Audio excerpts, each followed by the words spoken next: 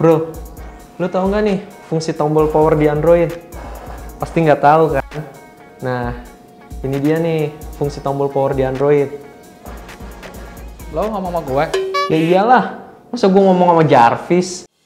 Nah, ini dia nih fungsi tombol power di Android. Nih, yang pertama buat nyalain dan matiin layar, gitu kan? Ya iyalah, masa untuk berubah?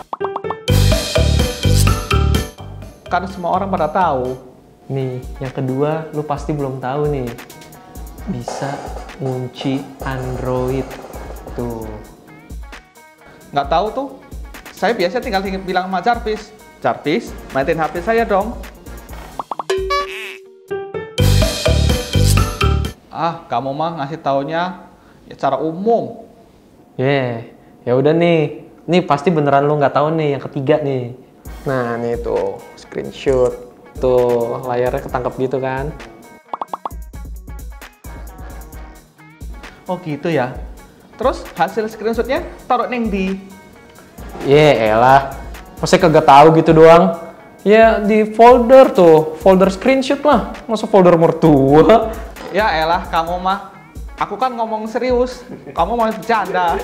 Nah, ini nih yang keempat nih, recovery mode. Pasti nggak tahu kan? Apaan tuh? Very mood mood mood mood penyembuhan. Nih, dengan tombol power, kamu bisa nih masuk ke recovery mode. Cuma matiin dulu HP-nya. Nah, recovery mode itu gunanya kamu bisa ubah nih ke asal atau bisa dibilang factory mode ini.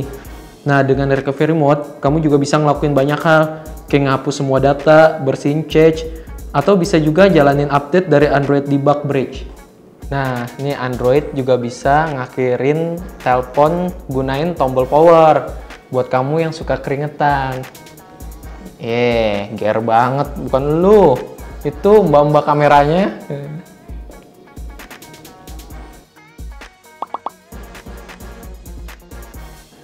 Nah, itu dia tips kita kali ini, teman-teman jalan tikus. Nah, jangan lupa untuk subscribe, like, comment, and share video ini ya. Terus jangan lupa juga untuk saksikan video-video jalan tikus lainnya. Ya tikus ke gue sih. Hmm, gue perasaan aja. Mirip doang sih.